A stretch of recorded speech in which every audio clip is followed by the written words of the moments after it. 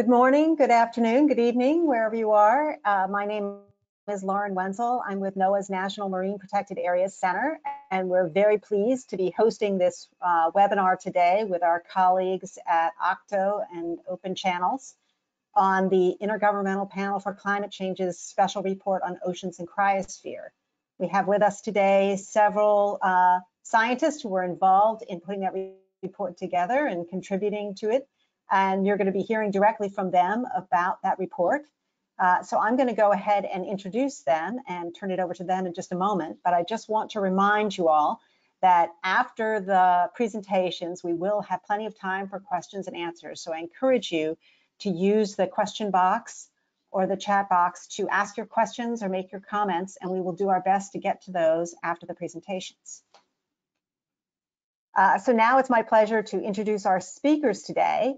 Um, first, we have Ko Barrett, who is the vice chair um, of IPCC. Ko Barrett currently serves as one of the three vice chairs of the Intergovernmental Panel on Climate Change, the international body created to review and assess the scientific, technical, and socioeconomic information produced worldwide that is relevant to understanding climate change.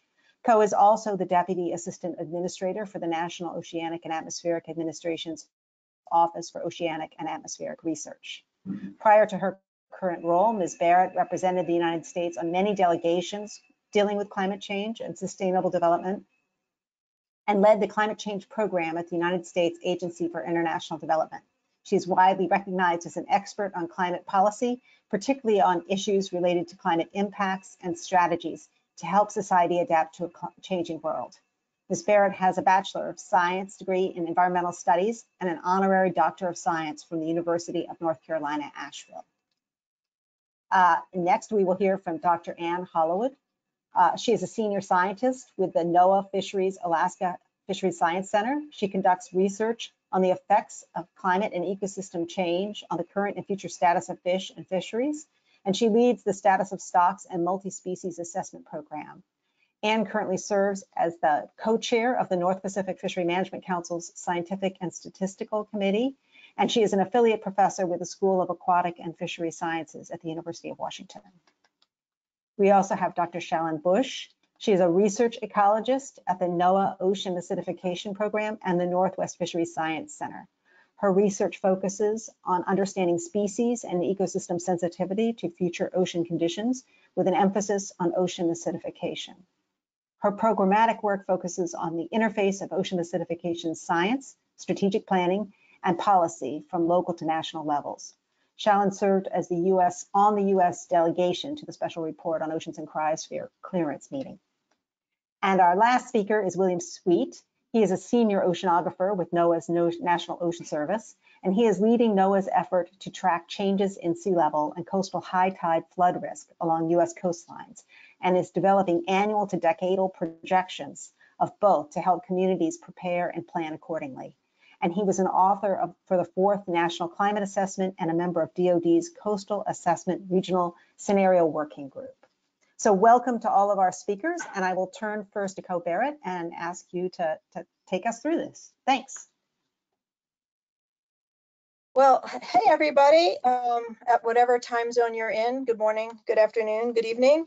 Um, so it's my job to just kick off the presentation with a very brief overview of uh, what the IPCC is and a little bit of background about um, the activities that we are uh, undertaking in this assessment cycle. So next slide, please. Um,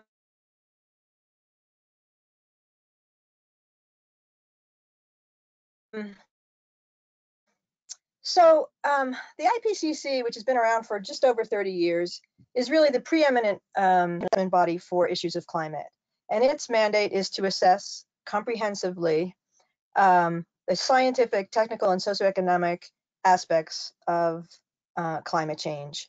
It's uh, the physical science, the risks, the impacts, adaptation, ways to adapt, and ways to mitigate. And the organization is uh, very, very attentive to the need to present this information in an accessible way that is policy neutral, um, even though we do project uh, we do uh, share and assess information on options that folks can take to um, address climate issues. Next slide. So, so the way that IPCC works, which is really, um, it's really unique, is um, it's kind of got various handshakes along the way as it produces its assessment, assessment reports between science, scientists and governments. That's the intergovernmental part of the IPCC. So generally, um, the the government delegations will get together and um, approve the outlines for the assessment reports that we will undertake in in our six to seven year cycles.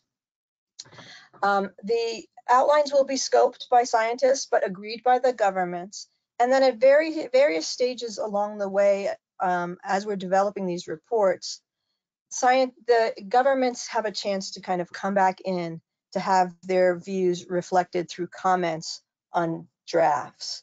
And then at the end of this, what is basically a two to three year process, um, the final report is presented to governments in a plenary session, and the summary that is drafted for policymakers is negotiated by governments line by line, word by word. And now the scientists are there at these approval sessions, and Shallin and Billy um, were, were there um, as part of a, uh, the US delegation, and who you'll hear from shortly was an author. Um, scientists are present to make sure that the changes that governments may ask for are still scientifically robust. But in the end, the report is accepted by over um, 150 governments worldwide. And that, I think, is part of what makes this um, these reports so robust and so quoted around the world. So uh, next slide. So during this assessment cycle, the IPCC is producing its standard suite of four main assessment reports that cover the physical science, adaptation and impacts and vulnerability, as well as mitigation issues, and a synthesis report. But we always produce a couple of special reports at the beginning of our assessment cycles in order to address some topical areas that seem to be um, of interest to policymakers. So this assessment cycle, we produced three special reports that are pictured here. Um, and together with the main assessment report, um, um, this marks the most intensive and ambitious period in the IPCC's 30-year history. We've never undertaken seven reports, plus we have a methodology report, so eight reports um, in our six to seven year cycle, and we're in the sixth, um, sixth cycle. Um, and it really stretched us and will probably attest to that as she speaks. But um, but these three special reports, so uh,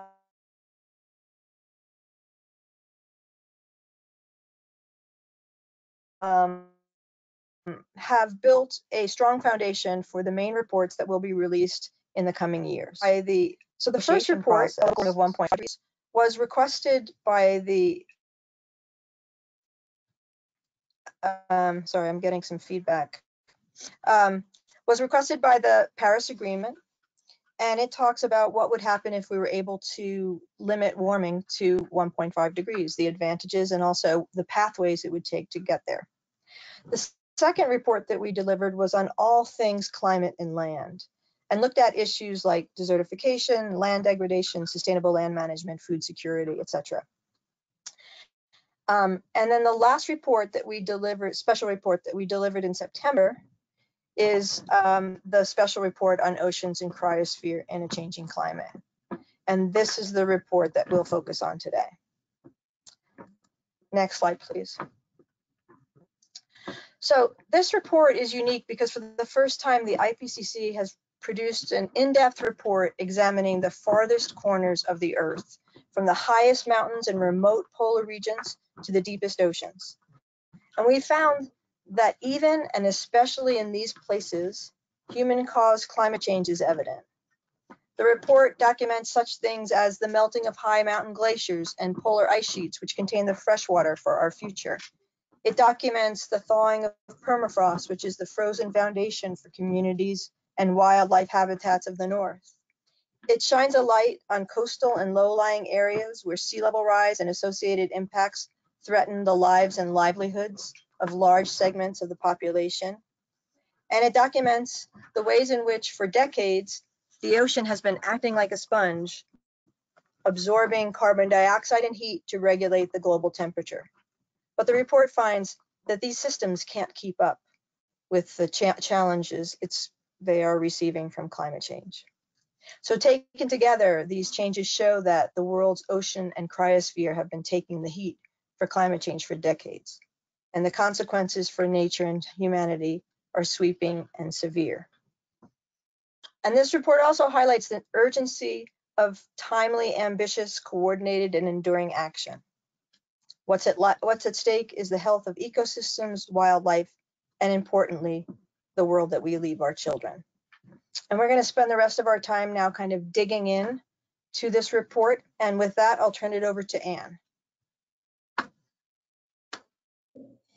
Uh, good afternoon or good morning, whatever time zone you're in. Um, it's my pleasure to um, uh, pick up where Cole left off. Uh, as she mentioned, uh, the focus of this report was on the cryosphere and the um, ocean. Uh, and here the cryosphere are the uh, components of the Earth system at and below the land and ocean surface that are frozen. And so this includes snow, glaciers, ice sheets, sea ice, and the integral role they have in, um, in influencing the ocean. Next slide, please. The, uh, the report really picks up where we left off in terms of the uh, AR5, uh, th that report embraced the piece that uh, that not only is this is the Earth system influenced by climate, but also by the actions that society has on it. And so our assessment uh, endeavored to try and bring together physical scientists, bio biologists, as well as uh, uh, socio uh, uh, economists and uh, social scientists. And the idea here was to assess the overall risk of changing climate under different socioeconomic responses as well as different carbon emission scenarios. And so what we were really looking at is the overall link between vulnerability, the extreme hazards, and you'll hear a little bit of this from what Shallin's talking about, and certainly William will talk about the hazards of sea level rise and the relative exposure in different parts of the world to changing climate.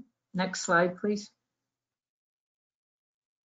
So my talk is going to focus on the polar regions. Uh, I, I, will say up front that that we taught that while the report dealt deals with the Arctic and the Antarctic and the Southern Ocean and the Arctic Ocean. Uh, the most of my talk will deal with the ocean aspects of the polar chapter and with a specific emphasis on the Arctic region. Next slide, please.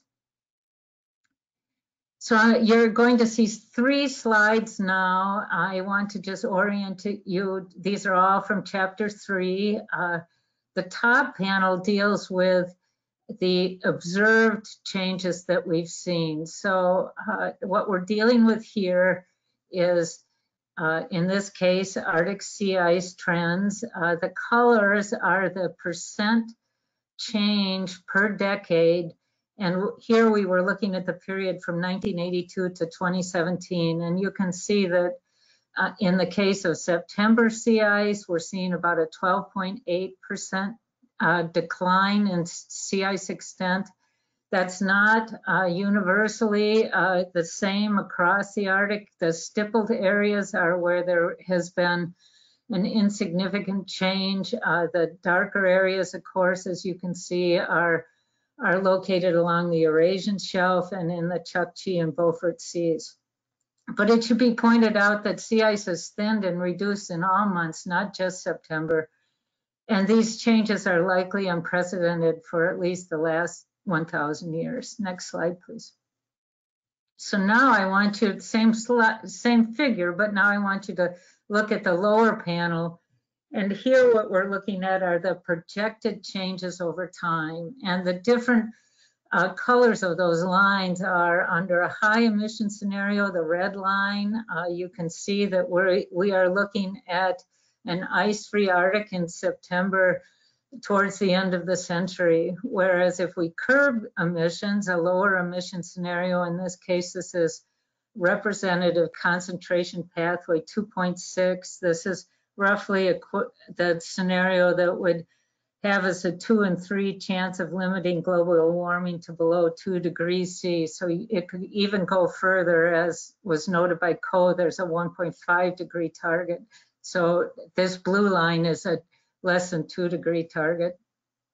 Uh, and sea ice is projected to continue to decline. Uh, what we're going to be seeing is that, that the uh, severity of that sea ice decline depends on what emission scenario we end up on. Uh, next slide, please. This is the same plot, and now I'm going to talk about both the observed changes and the projected changes on the same slide. This is sea surface temperature, and as you can imagine, associated with loss of sea ice, we're seeing uh, warming at the surface in the Art across the Arctic. You can see the intensity of that. Uh, uh, there is again along the Eurasian shelf and in the Chukchi and Beaufort Seas uh, sea surface temperatures have already warmed at about half a degree per decade during that period, 82 to 17. Uh, is particularly influenced by the inflowing waters from the Atlantic and Pacific that are bringing more heat into the Arctic and uh, future scenarios. Again, you can imagine this, the, the direction of change is reversed here on the lower panel with the red line being the warming and the blue line being uh, this emission where the, the lower emission scenario. I should note that the black line here is the actual observed, and you can see that right now we're trending to be on the upper end of the uncertainty bars here, the sort of gray stippled areas around uh, the projections. Next slide, please. So what does this mean for boreal systems? Uh, uh, the, what we're seeing is a real change in the habitat. Uh, the uh, Barents Sea and the Bering Sea are, are, are, the entrance to the Arctic and, and uh, what we're seeing is a contraction of the Arctic uh, habitat and the expansion of the habitat for boreal systems. So we're seeing a retreat in, say, Arctic cod and an expansion of the range of Atlantic cod. Next slide, please. Yeah, now these sorts of uh, issues, uh, it's they're compounded across not only a few species, but across the entire socio-ecological system that's there. We're seeing increased tourism as that shipping lanes open up with the retreat of sea ice. We're seeing uh, tourism and shipping happening more in that region. This is affecting local and indigenous peoples and their ability to fish at the timing of their fisheries as well as how they fish. And we're seeing implications on many of the um, biological uh, systems and, and uh, species that live in that region. Next slide, please. The report uh, ends in a quite interesting piece, and I encourage you all to look at it. Uh, it, it recognizes that people living in the Arctic, especially indigenous people, are already adjusting their travel and hunting activities to the seasonality and safety of land, ice, and snow conditions. And uh, it then looks at the potential pathways that humans have in terms of uh, building resilience to the expected changes.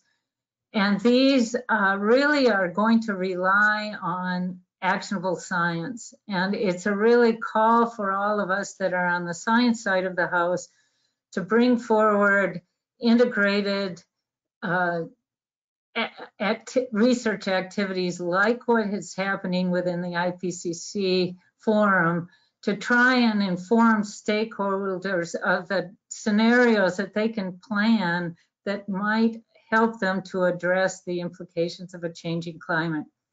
And the lower panels here are an example that we have uh, in the Bering Sea, where we are doing just that. We're downscaling uh, global climate projections to a regional ocean model and then using those scenarios to try and look at adaptive pathways, in this case of fisheries management, to uh, the expected changes that are coming forward.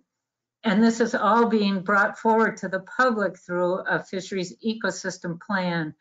And uh, so then next slide, please.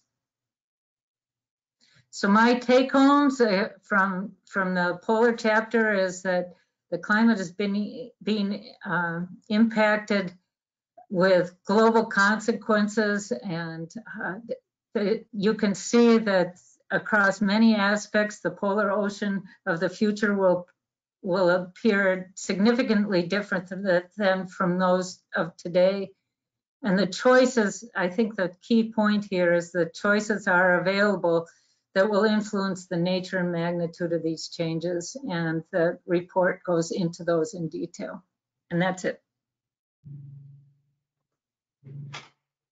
So I will, speaker is Shallin Busch, and she will walk you through the uh, projected impacts on the ocean and marine life. Thanks, Anne, and uh, thanks for giving that presentation. I always learn so much when I listen to talks from you. Uh, so I'm an ecologist, so I'm going to talk about ocean change through the lens of um, thinking about things as fish habitat, mammal habitat, and, and really habitat for people. So let's move on to the next slide.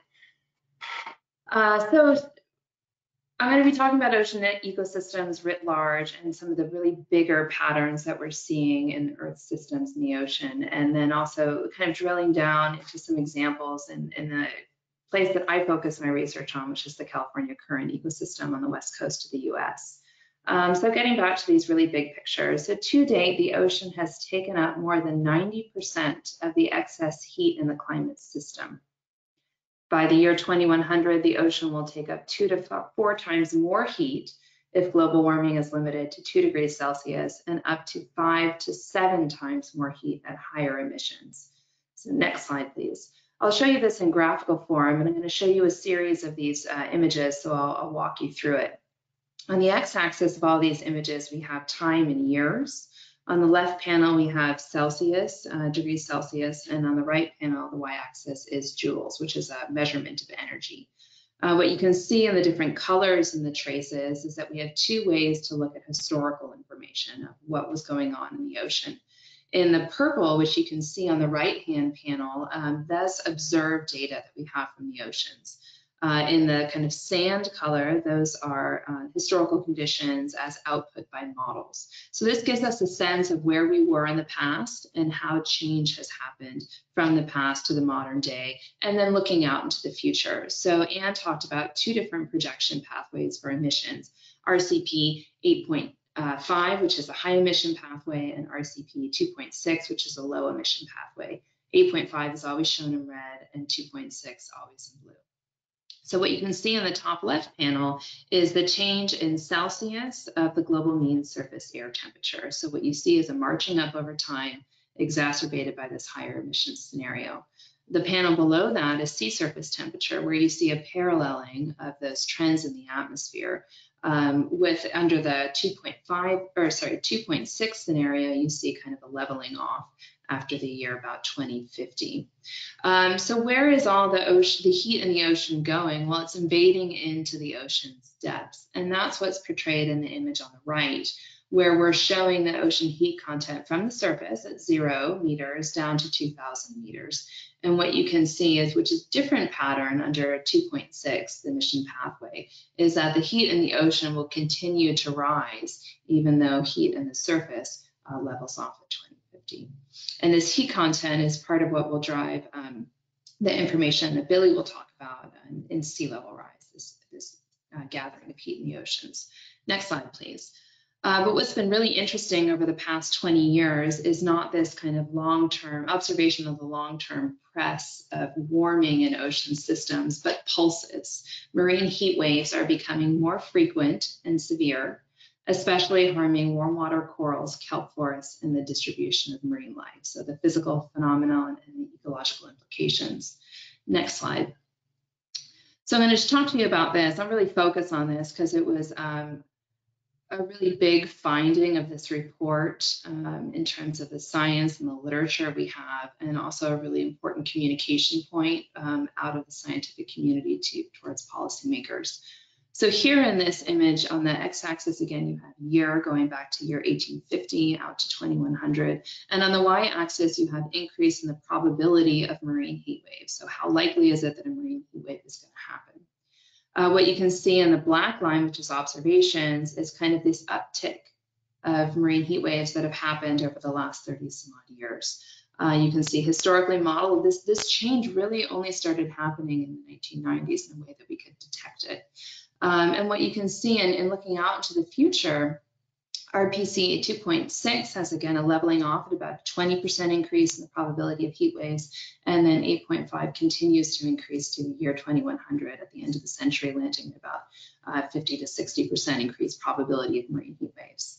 So heat waves are projected to further increase in frequency, duration, spatial extent, and intensity, which we call here the, the maximum temperature. And this is a very high confidence finding limiting global warming would reduce the risk of impacts of marine heat waves, but critical thresholds for some ecosystems will be reached at relatively low levels of future warming, and that's a high confidence finding. So even under lower emission pathways, we could see some of the ecological implications of these, these pulse events, these marine heat wave events.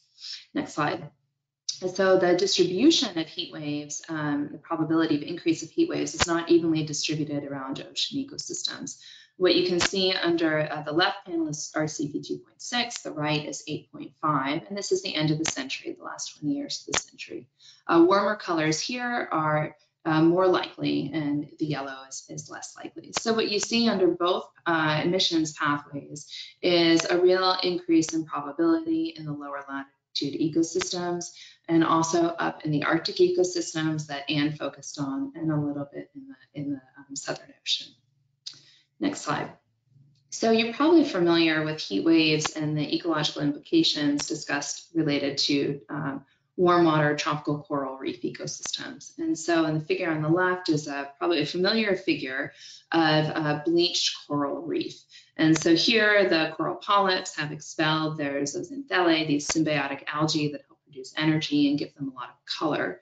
Uh, so they expel these uh, algae. It doesn't mean they're dead, but not all corals will survive um, and persist through a bleaching event. Some will, but not all will. On the right shows you another image related to heat waves. So this is um, the years 2015 and 2016. And what this shows you is degree heating week. Um, so this is the cumulative amount of time that ocean ecosystems were above, um, I think it's one degree Celsius of their typical maximum mean. And what you can see, these are two really warm years, and the dots are showing you bleaching. So purple dots are severe bleaching, where more than 30% of a coral reef bleached. Moderate light purple uh, is where uh, less than 30% of the reef bleached, and then the almost white is no substantial bleaching. So you can see throughout the, tro the tropical Pacific and Indian Oceans, a lot of severe bleaching and also some severe bleaching in the, in the Caribbean as well within those just two years. Uh, next slide, please. But what's really come to fore in the last 10 years is the impacts of marine heat waves on non-coral systems. And so these 10 examples here on the figure on the left are heat waves that have occurred in the past 20 or so years, mostly in the past 10 years that have occur occurred throughout the globe. The warmer the water is in the ocean, the, the greater the maximal extent intensity of the marine heat wave. Five of these 10 heat wave events um, have likely or very likely attribution of extreme temperatures to anthropogenic climate change. So we can see the signature of climate change on these.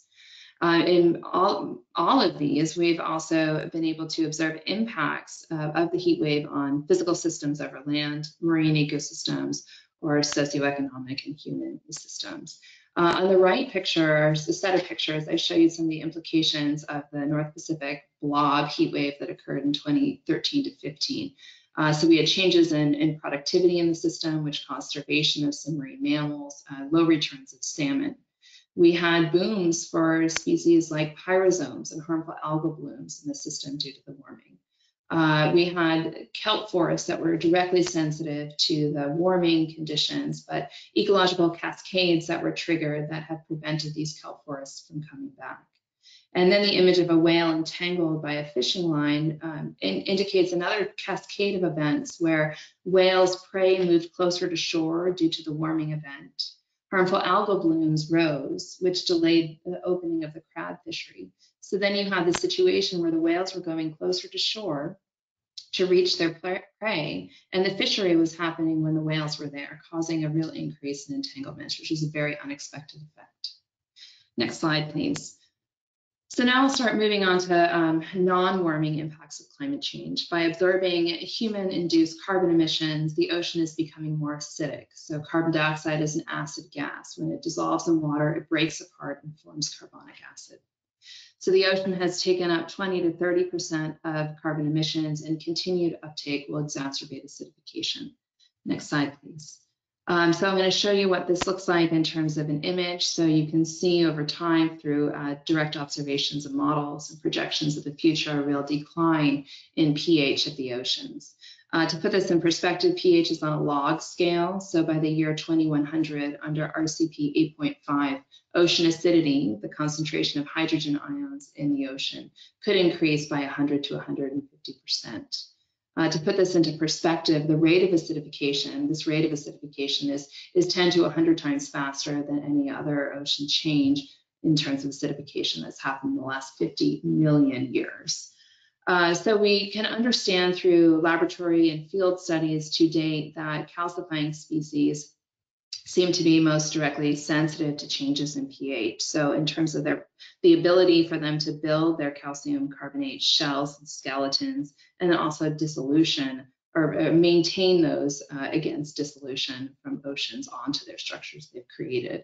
So we can see the foraminifera, which is the image in the middle, uh, the tests of those pelagic foraminifera that have been observed to decrease. Um, uh, sorry, I have an alarm going off. Uh, decrease over time as the oceans have acidified. Uh, we also see dissolution of pteropod shells in more acidified environments, and there's a link between an increase in toxicity of harmful algal blooms under acidification conditions. Next slide, please. Ocean warming uh, reduces mixing between water layers and therefore the supply of oxygen and nutrients for marine life. So carbon dioxide and oxygen are tied together in the respiration processes, but um, respiration is, is inducing some of this uh, deoxygenation, but so is ocean warming. Uh, can you go to the next slide, please? And what we can see again in a similar image up in the top left, uh, we can observe and model this decline of ocean historical conditions and project it out into the future. So ocean loss, like I said, is primarily due to ocean stratification, uh, changing ventilation, and biogeochemistry. That's a high confidence finding. Decreases in oxygen levels have altered ecosystem structure, with direct negative impacts on biomass production and species comp composition. So that's a medium impact finding. So the images down below show you some uh, observations from the California current ecosystem. We've had an increase in hypoxic events, low oxygen events um, off the coast of, of Oregon over the past decade or two. And we can see that in mass mortalities of Dungeness crab, both uh, existing in the wild and also uh, when fishermen pull up pots of dead crabs. We can also observe and model uh, compression of habitat for species like rockfish, which seem to be sensitive to the percent of oxygen in waters. And then like with acidification, harmful algal blooms uh, tend to be favored under low oxygen environments. Next slide. So to put this all together and kind of put it into a context of time, I show you this image related to time of emergence of key ocean condition variables. And so what this shows you is the percent of, the ocean that is different than it was historically due to climate change. What you can see is that right now, the entire surface of uh, the ocean has a different pH than it had historically. 80% of the ocean now has a different temperature, sea surface temperature, SST, than it did historically. And you can see this increase in the percent of the ocean uh, that's different in terms of oxygen, nitrate, and primary productivity. So this shows us how the ocean conditions are moving out of what they were historically into a new normal. Next slide, please. And these changes in the ocean cause shifts in fish populations. This has reduced the global catch potential. In the future, some regions will see further decreases, but there will be increases in others. Next slide, please. What the image on the left shows you is projected changes in risks for ocean ecosystems as a result of climate change expressed through primary productivity, animal biomass, and fisheries catch potential. The green images on the left show you where we are today, and then you have RCP 2.6 and 8.5 model projections. So what you can see in the purple colors is an increase and in the orange colors is a decrease. So what you see is an increase in primary productivity in polar ecosystems mirrored by an increase in biomass and then uh, maximum fisheries potential where fisheries are executed. But what you see through the majority of the low and mid latitude ecosystems is a decrease in productivity, a decrease in animal biomass, and then a decrease in maximum fisheries catch potential. So bringing this to humans, uh, communities that depend on high depend highly on seafood may face risks to nutritional health and food security. What we know is that reducing other pressures such as pollution will further help marine life deal with changes in their environment uh, caused by climate change. And that policy frameworks for fisheries management and marine protected areas offer opportunities for people to adapt to these changes. Um, so with that, I'll pass it to Billy, who's going to focus on sea level rise. Great, thank you. Uh, good afternoon, good morning, all. Glad to be able to present to you uh, chapter four within the uh, report dealing with sea level rise and, and its impacts. Um, so I'll just get right to it. Um, what we're finding here essentially is that uh, during the 20th century, um, global mean sea level rose about 15 centimeters.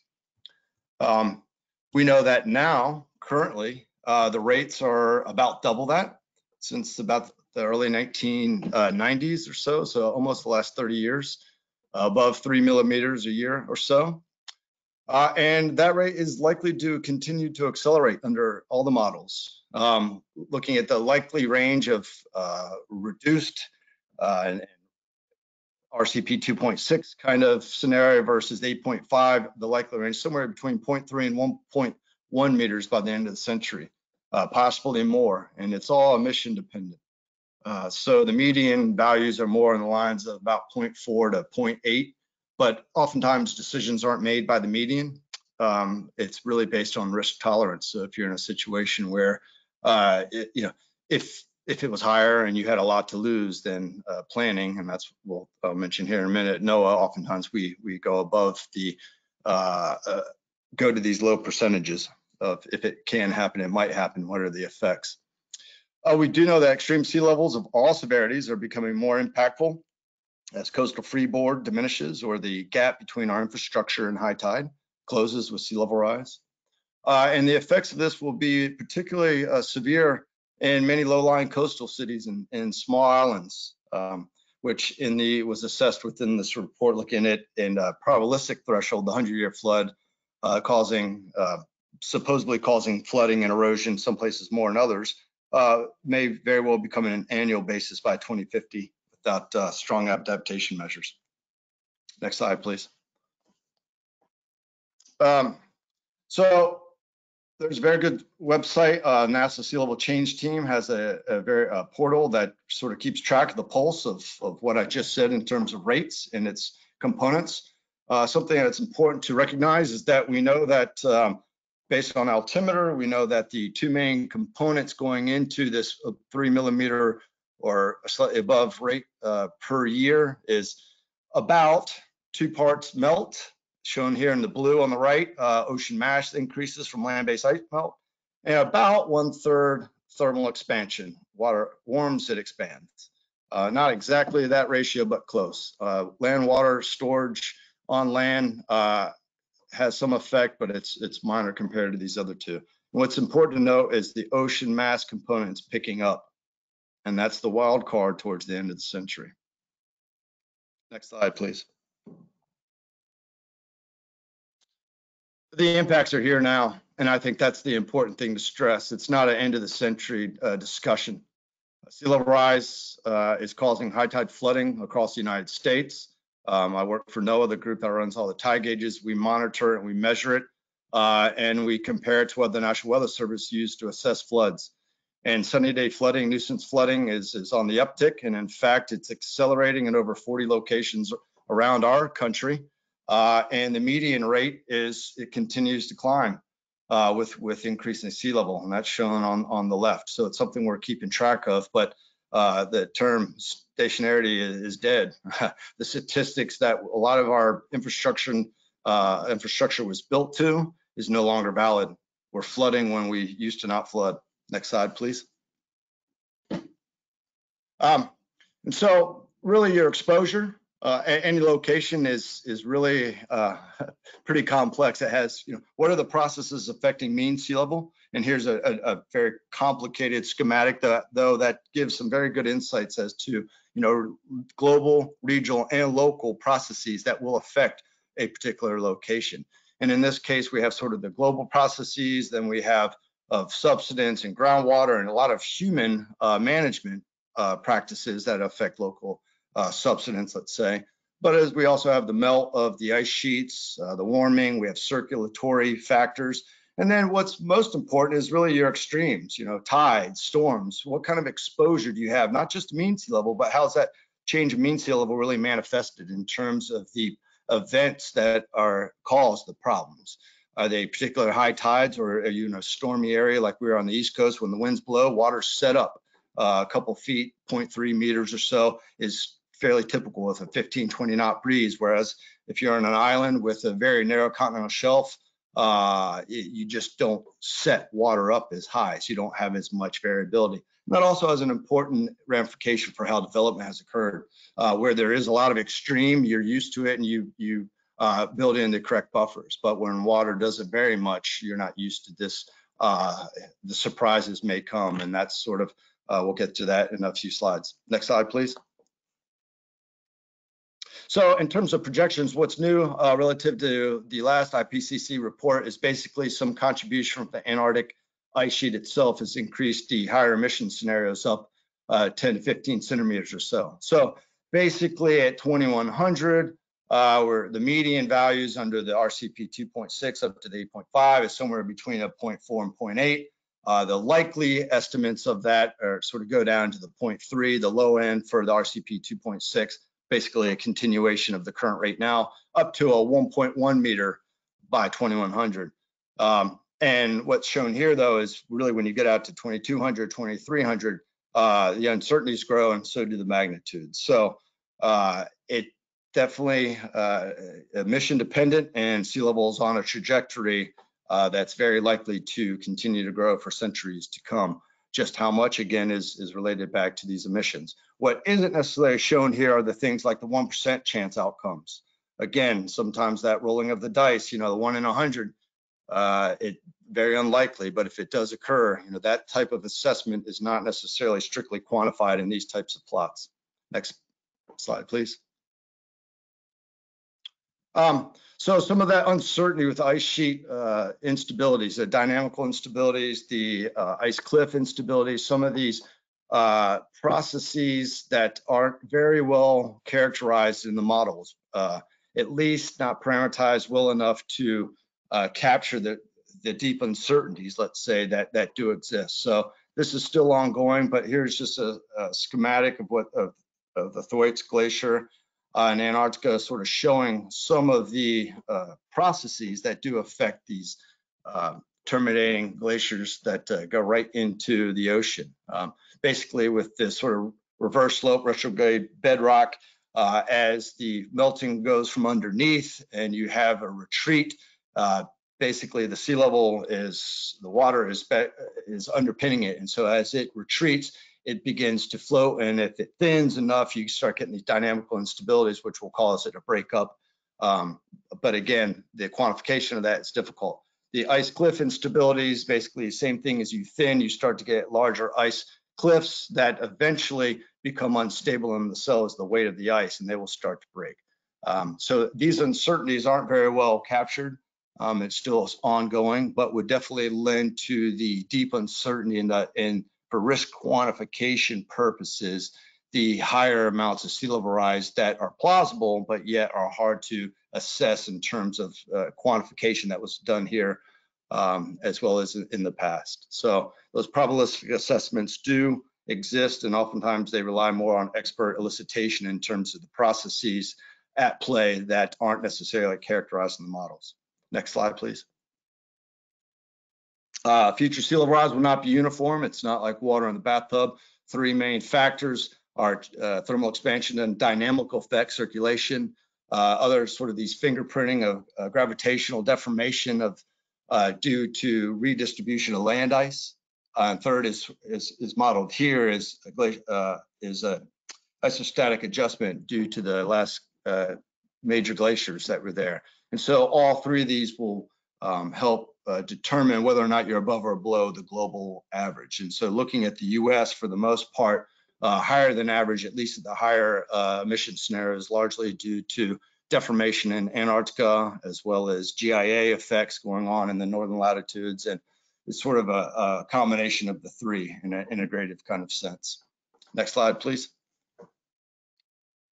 So the consequences of increase in sea level is really uh, an increased frequency of extremes. So what, what they showed here is basically as a rule of thumb, let's use the one annual 1% chance event, or they call it here the historical centennial extreme event.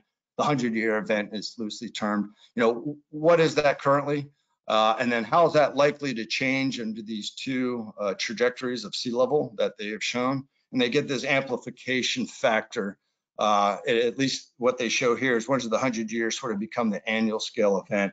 Uh, and what you typically see is you're more likely to become an annual scale with less sea level rise, where there's not that much difference, as much difference between your 100 year and your one year, areas where you don't have extreme variability. Um, so one could argue that the 100 year event isn't overly impacting right now. For instance, in Honolulu, the 100 year event may or may not actually cause noticeable flooding. And this is the tide gauge assessment not really including waves. But nonetheless, it gives you a sense of exposure. And these are the types of events that traditionally cause uh, certain types of impacts, and they are expected to increase in frequency uh, and likely increase exposure uh, and overall vulnerability within today's society. Next slide, please. And so with that, they examine several different uh, areas and geographies around the world and trying to look at sort of what is the capacity to respond to sea level rise based upon a whole host of factors. And again, we don't really have time to, to walk through all these, but essentially what you see is there are communities that are just, no matter how much uh, response is, is put into it, their risk is going to uh, main, be basically elevated. And those are these areas in the Arctic, some of these urban uh, atoll islands where they just due to a lot of times the geophysical and the geography of the uh, of the area are just not going to fully be able to respond. And hence this idea of a sort of a, a managed um, uh, uh, retreat or, or you know relocation let's say is definitely something to uh, be thought of and that is actually sort of ongoing currently or at least being discussed whereas these other resource rich communities that uh, are able to respond and build and protect, uh, they have the capacity to do so. And so it sort of is an interplay between the physical exposure and the societal socioeconomic uh, capacity to respond. Next slide, please. So two last slides as we're bringing this back home to NOAA. Uh, we have our own sea level rise scenarios, which this intermediate low and intermediate one half meter and one meter global rise by the end of the century are pretty well aligned with the, what they are uh, sort of the, for the risk framing purposes, what's being shown here in the in this report. Uh, and what we show here is a uh, actual sea level rise relative to these two as it's manifest locally with these other localization uh, causing the area in Miami to be slightly different than the global average. And how well is it tracking? Uh, sort of what trajectory are we on and what is the ramification of this rise? Next slide, please we're actually producing uh, products and services at NOAA that uh, map areas of high tide exposure, you know, what we're calling the high tide flood threshold. Uh, we're also giving next year outlooks as well as 2030 and 2050 binned by these two uh, half meter global and one meter global. What is that likely to mean in terms of, of high tide flooding events per year? And so we already have flooding issues in Charleston, Norfolk, Miami, a host of cities, and communities are really starting to ask for next year uh, numbers for planning, uh, for budgeting, as well as decades to come, so that they can, you know, correctly identify uh, the, solution that's best for their local localities in response to this increasing risk. Uh, so with that, uh, I will I will close and and pass it back over.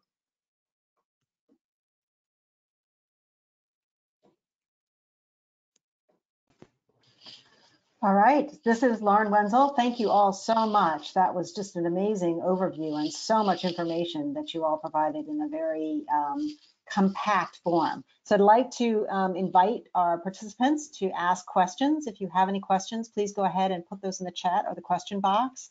I'm going to remind you that this webinar will be recorded and posted, so you can look for it. The, the link is in the chat box but it will be um, posted at openchannels.org slash webinar. So you can go there if you didn't get a chance to hear the whole thing, or if you want to take a closer look at some of the amazing graphics in here.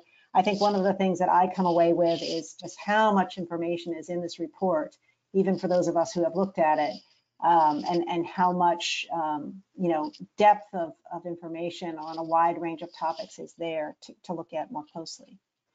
So um, just inviting you all, if you have questions, please go ahead and, and send those in. I see actually, does look like there's a question here. No, that's just a, a logistical one.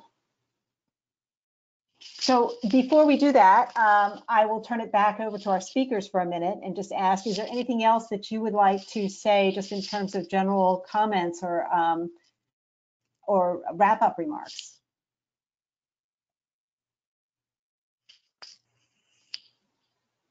This is Shallin. I'd just like to echo something that Billy said, um, where he said, you know, climate change isn't a future problem. Climate change and its implications are happening right now. And, um, you know, I tried to show that by showing some of the physical and chemical data from the ocean and showing some of the implications of the events that we talked about, um, that, you know, press perturbations like acidification and deoxygenation. And so I think that was really, at least at the, the meeting that I attended for this report in Monaco last year in September, the clearance meeting, that was really seemed to be felt by the community. And it would be good to convey that.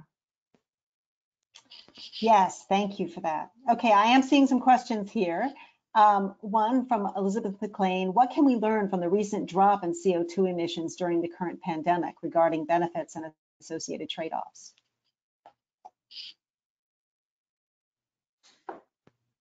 This is Shallin again. I'll start. I'll start with that. Um, so I, I, know that uh, NOAA is currently working on ways to kind of take take advantage of this natural experiment and understand um, what is happening with emissions and, and, how ecosystems and the earth systems respond to, to lower emission levels. But as I understand it, it's um, you know on the order of maybe a, a five to eight percent decrease in emissions um, that's projected. Uh, based on what's happened over the past couple months. So when you think about it, um, while it is one of the largest drops um, that we've experienced since you know mid-century, mid-last century, um, it, it isn't um, it isn't huge. And maybe Ko would have some insights on that. Yeah, I think I'll just add to that. I mean, we've um, we've kind of geared up our observations during this period of time. Folks may be aware that NOAA um, has maintained the longest time series of CO2 emissions since 1958, um, uninterrupted in Mauna Loa.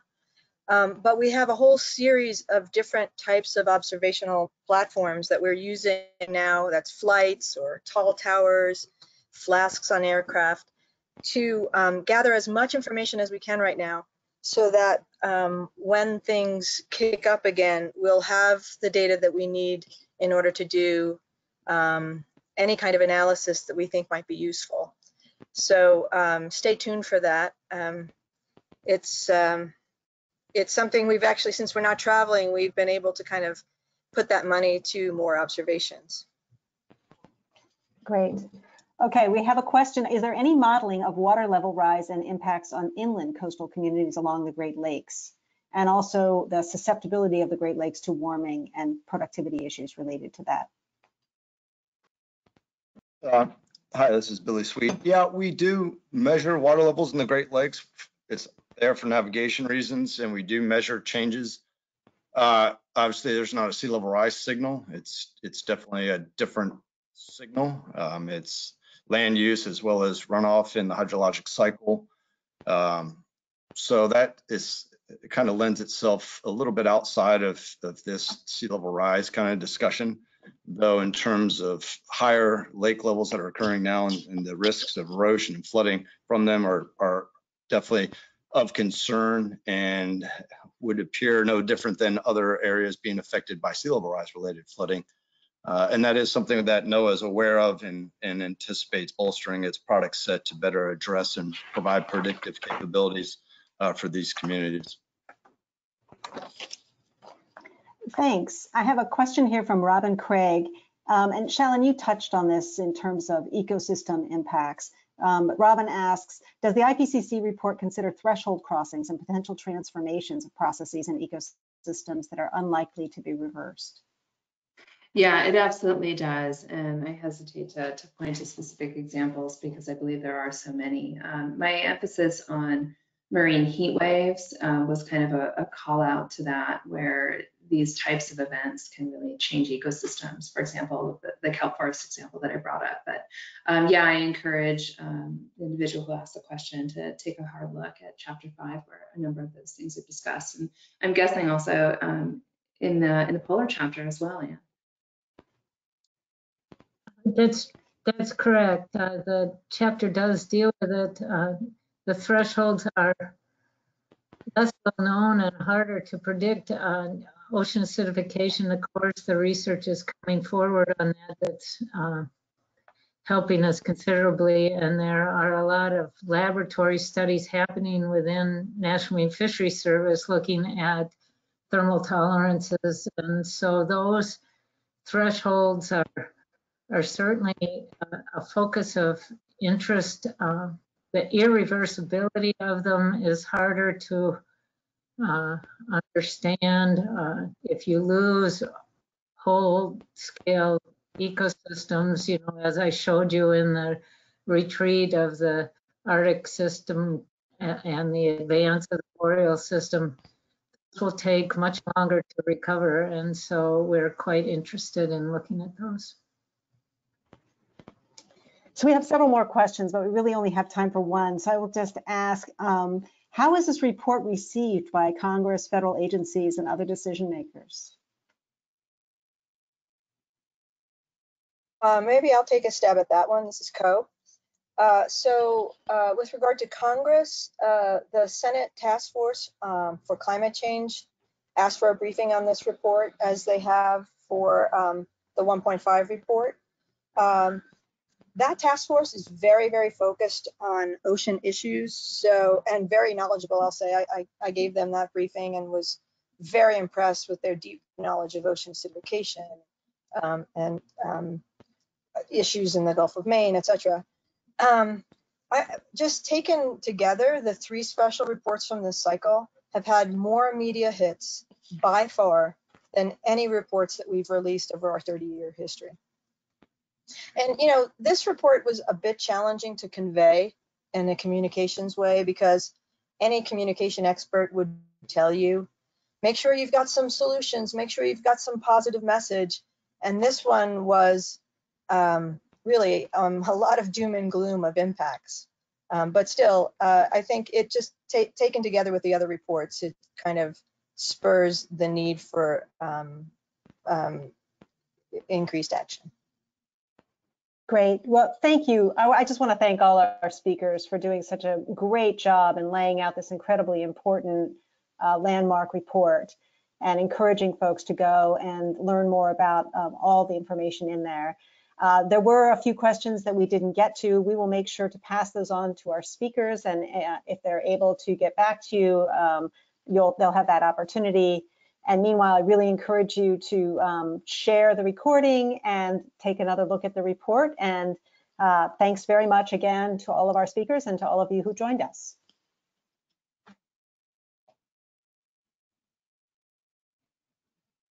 All right, thanks everyone. Bye-bye.